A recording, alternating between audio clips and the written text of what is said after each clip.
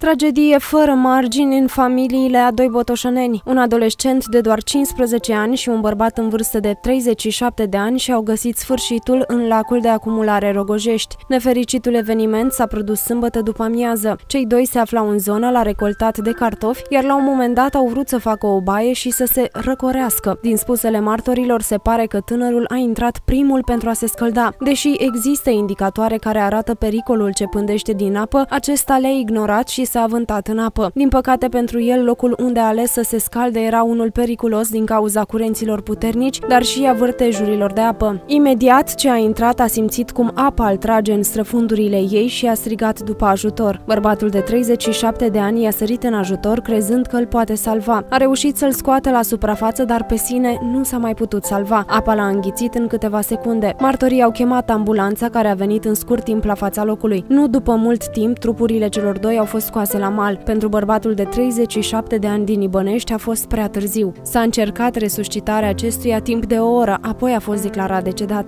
Deși a încercat să facă tot posibilul să-l țină pe copil în viață, medicul aflat la fața locului a pierdut lupta în fața morții.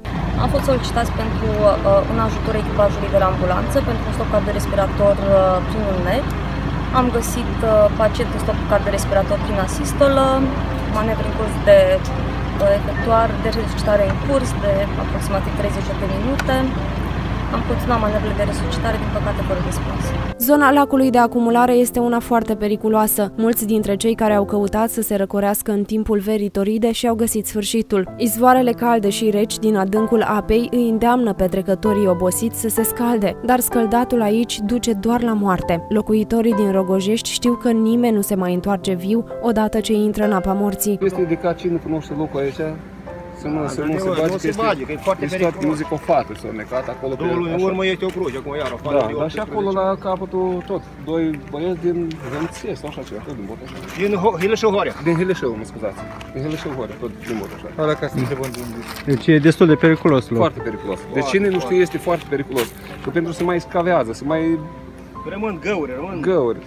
Noi localnici știm în fiecare zi pe aici, să ne- știm și cum era dinainte de a fi barajul și în mare parte știm. Dar sunt indicatoare aici, dar nu prea să respecte indicatoarele astea. Dar oamenii ăștia erau de aici, din sat, de aici? Am înțeles că nu, nu este aici de loc, am înțeles că au fost la străzi cartofi la cineva și ieșit să fac o baie. Apa probabil era rece, nu știu, nu cunosc locul.